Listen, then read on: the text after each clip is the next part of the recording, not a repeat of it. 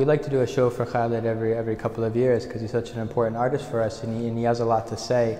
Complete Freedom is, is, is a kind of new direction for him where he's actually tackling much bigger issues and they're not just about him, you know, it, it's bigger things but through his eyes or, or, or things that he actually uh, wants to kind of communicate and, and in a strikingly different way.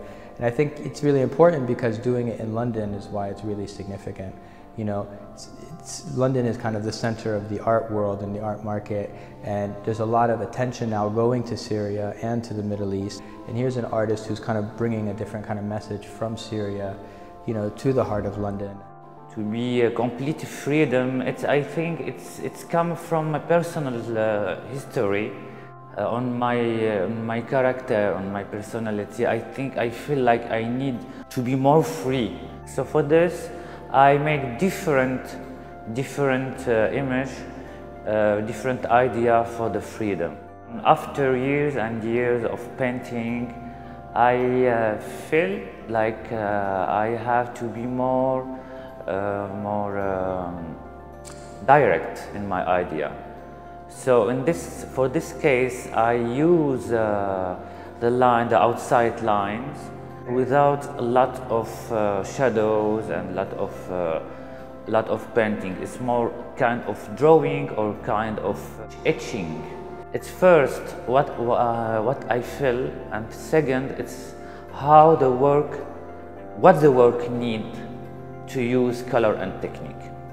So because this collection, I want to be very direct in my work. So I use one or two colors and this is technical reason but the, uh, some other reason it's uh, from the difficult period Syria uh, have uh, from years I think the colors uh, escape from my palette and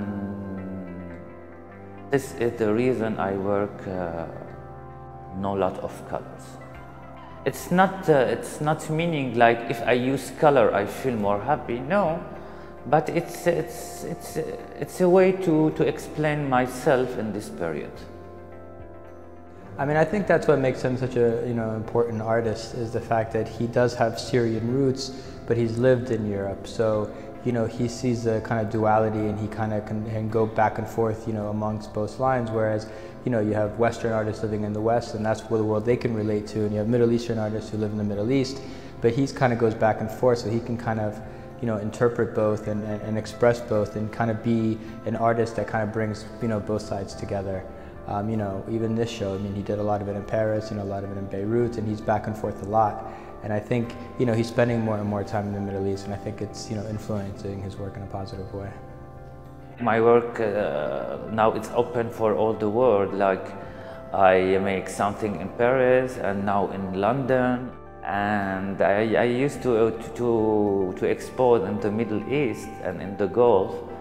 But now it's come more international and it's make me happy and it's make uh, my dream come true because I always felt like uh, art it's it's uh, it's when he when he come from the heart, you have to be all the place to be international and to be uh, universal.